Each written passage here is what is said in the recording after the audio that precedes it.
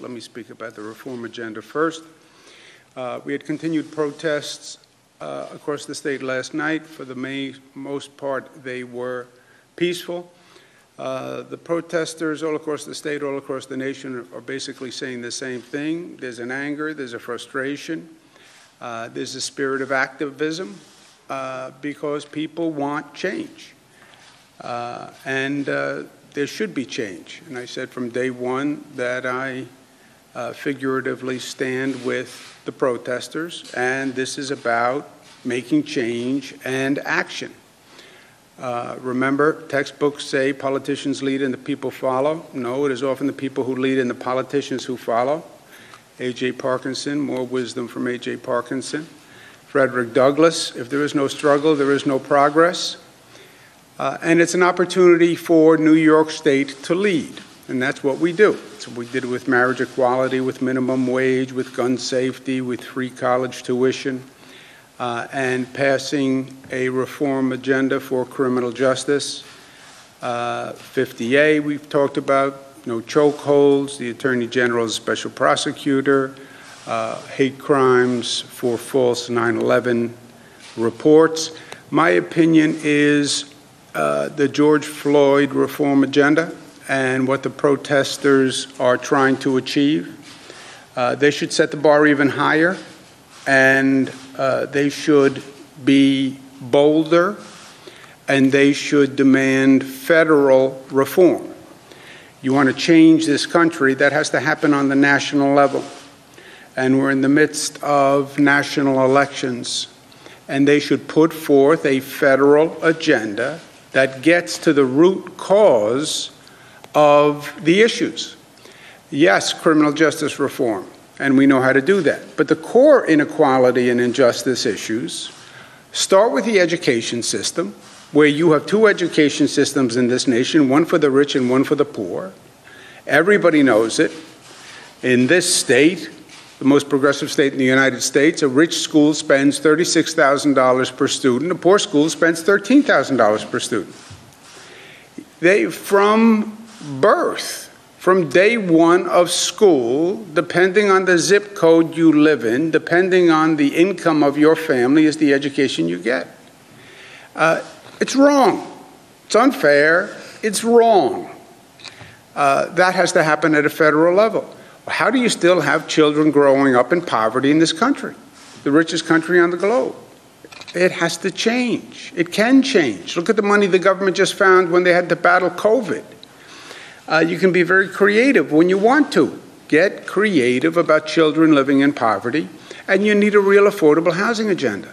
The federal government, historically, constitutionally, by law, provided affordable housing. The 1949 Housing Act said safe, clean, decent housing for every American. That was 1949 Housing Act, paraphrased. The federal government went out of the business. States and locals are supposed to make up. They can't. You had those whole bevy of federal housing programs, Section 8 programs, voucher programs, building new public housing. Uh, that's you want to make change in this moment, go to the core issue that really is driving the injustice and the inequality and get it done. You have this energy, you have the momentum, now is the time. In terms of reopening, we've been doing it based on the data and the facts.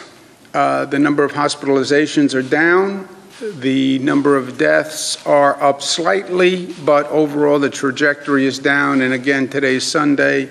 The Sunday numbers tend to be uh, statistically, uh, there's a variation with the rest of the week, but overall the numbers are down and the numbers are good. Uh, number of lives lost continues to drop. Uh, we are now doing a tremendous number of tests. Uh, as I said, testing is the best mechanism to get a snapshot, right? Where are we today?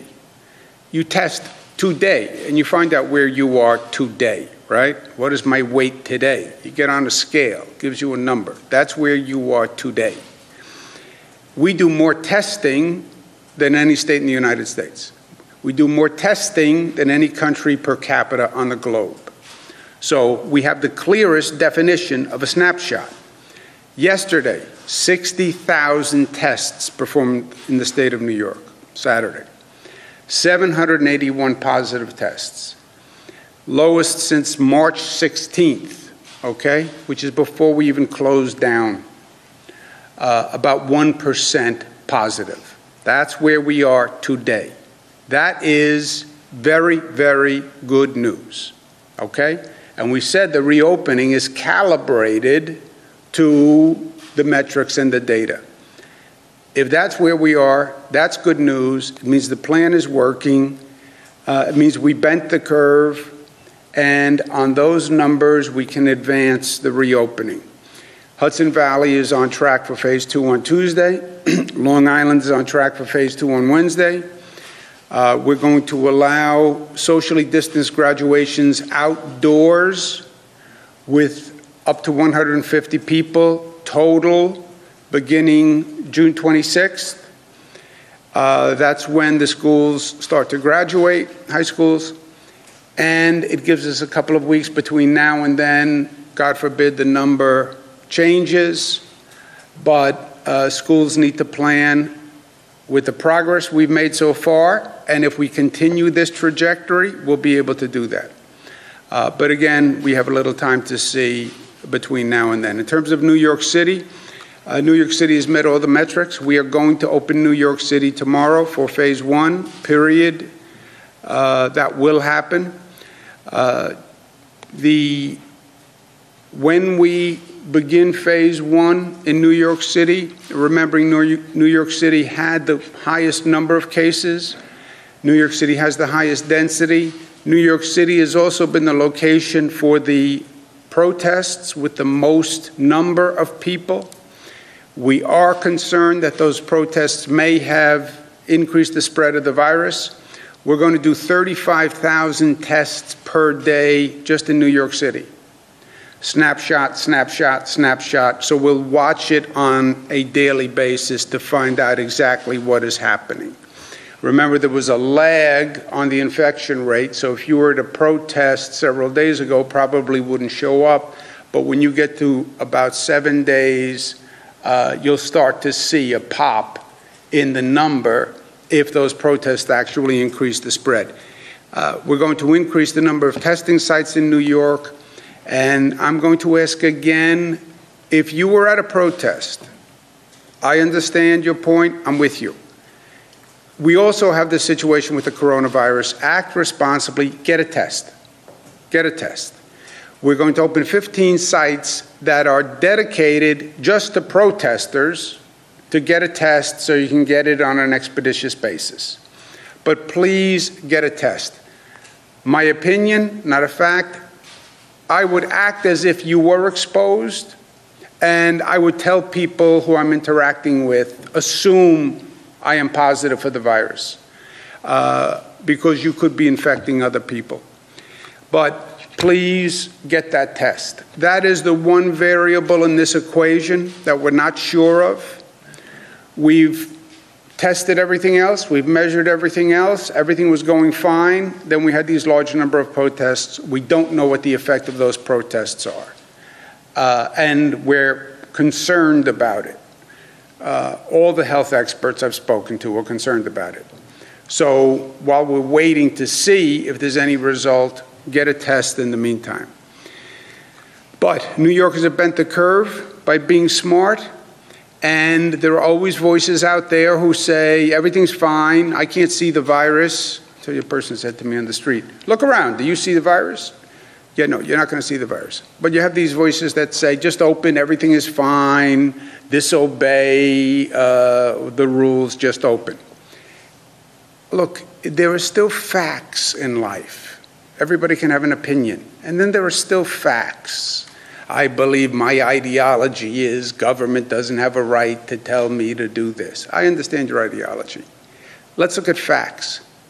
Look at what is happening around the country Look at the facts after countries and states reopen. And look at what is happening with their curve. Arizona is seeing an increase in the numbers. South Carolina, a new record with more than 500 in a single day. Uh, hotspots across the south and in California as northeast slows. That's us. California posted highest number of new coronavirus cases on Thursday. Florida, 1,000 for the fourth day in a row. Uh, U.S., 1.8 million spread rises with turmoil. These are facts. This can happen. This can happen. We know it can happen because it happened here. We've made all this progress. Please, please, I know it's been uh, 90 days. Please stay disciplined, stay smart because it is working. And we've come a long way. And a lot of people have suffered to get here, and a lot of people have died. Let's not be foolish now. And again, look at what we did. Flatten the curve, forget flatten the curve. I'm going to change the state signs. We bent the curve. We bent the curve. We intended to flatten to get to a plateau. We bent it. And look at the rest of the country. We are curve benders, if there is such a thing. And um, New Yorkers should be proud of their accomplishment. Uh, and in light of that, we're going to uh, light the landmarks across the state in blue and gold in honor of our New Yorkers, our New York tough New Yorkers. This is going to be in Manhattan, which is very cool. New York tough. The Mario Cuomo Bridge, the Education Building, that's the Corning Tower in the left. Uh, but these will be the landmarks that will be lit blue and gold to celebrate our accomplishment because it was an extraordinary accomplishment. Because we are New York tough, smart, united, disciplined, and loving. I am mostly loving, Mark. Don't you forget that. Questions? We'll take a couple propose, there are four of them. Let's say there is no political division over it and we can get those passed just, just like that. Uh, it takes time for laws to go into effect procedurally. There's usually a delay. And then after they go into effect, there's usually a cultural delay as well, where things have to be normalized over time. So, for example, when miscegenation, uh, interracial marriage was legalized, it took time for the culture to sort of catch up to what the law had been. So I'm asking you, what are the things that you need from the general public to facilitate that change? Because no matter what you do, no matter how quickly it is, it's not going to be instantaneous, but people will still continue to point to legislators and people in power and say, change, even if you make certain change. Do you need patience, maybe? It's an interesting question. The, the, the legislative change will be virtually immediate, okay? Uh, personnel records would be released. Uh, the Attorney General would operate as an independent prosecutor for police. Uh, the legislative changes would be immediate. Uh, you're right, there's still a, a uh, culture shift but look, more what this is about is about repairing the relationship between the police and the community, I think. You know, the policing relationship does not work for anyone unless there's a relationship of trust with the community. And it has to go both ways. You know, relationships, the, the door swings both ways in life. The community has to trust the police, the police have to trust the community, they have to work together. And that's what this is really about for me. Uh, there's a community anger, there's a community distrust. By the way, there's a police anger and a police distrust, right? 57 officers in Buffalo uh, resigned from that detail. You have tensions on both sides. Uh, there's no doubt about that. We have to heal that. We have to restore that relationship. I believe the legislative changes will help on the uh, community side, the police are not going to be happy with the legislative side changes, uh, and the police are feeling targeted. So, the what will take the time is working through the relationship. You know, even if you even if you agree okay, uh, the reforms are right, and even if the police said, I understand the reforms, I can live with them, you still have a lot of emotion that is going to have to be worked through. But is there something from the general public, from the community? The government is now doing what's been requested in changing the laws, which will eventually change the culture. But is there something that the community can do from their end to, kind of like in any interpersonal relationship, to sort of help things along? Yeah. I say, I would say, look, from the uh, protesters' point of view, the community point of view, uh, you achieved uh, a significant accomplishment in a very short period of time. This is real reform. It changes uh, fundamental policies about how we uh, police. Feel good about it. And remember, this relationship has to work for everyone. So let's take this moment, take a deep breath, put out our hand, right?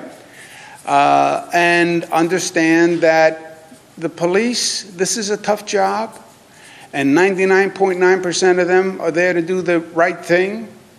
Uh, and every good policeman will say the bad police uh, actions hurt the good policeman as much as they hurt anyone.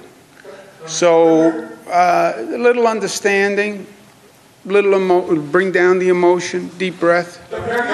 Governor, what is your updates on the Kawasaki virus, and is that affecting your thinking on summer camps? A lot of people are interested as Yes. to whether or not those will Yes, I said specifically that uh, we're looking to get more information on the Kawasaki uh, inflammatory syndrome before we make a decision on sleepaway summer camps. We said day camps were okay, uh, and I'm going to get an update early next week uh, from Dr. Zucker, the health commissioner, on the Kawasaki virus, and then we'll make a decision. Good, last one. What is your opinion? There have been calls to defund police departments, essentially the argument that that there are a lot of police, um, too many police, and that if police can't stop killing black Americans, You they should. have, you have, you have tension, you have anger, and you have extremes in our society. Our society is about extremes now, right? Extreme left, extreme right, uh, high tension, high frustration, coronavirus increases the anxiety for everyone,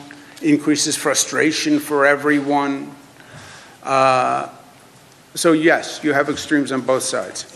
But look, look at the look at the facts, right? There's also still balance in life and reasonableness. Uh, we don't need police. Look at the looting that happened in New York City. Look at that looting. It was frightening. It was criminals who were exploiting the situation, who were opportunistic, who were just stealing. You have New York City that is still reeling from the COVID virus, and now you have this night of looting that I'm telling you shook people in the city to the core. You don't need police. You don't need police. That's what happens when you don't have effective uh, policing. Now, the looting had nothing to do with protesting. Protesting is different.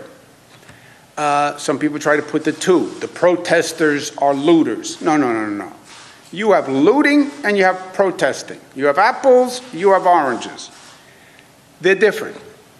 Uh, well, uh, the night of looting was the fault of the police officers.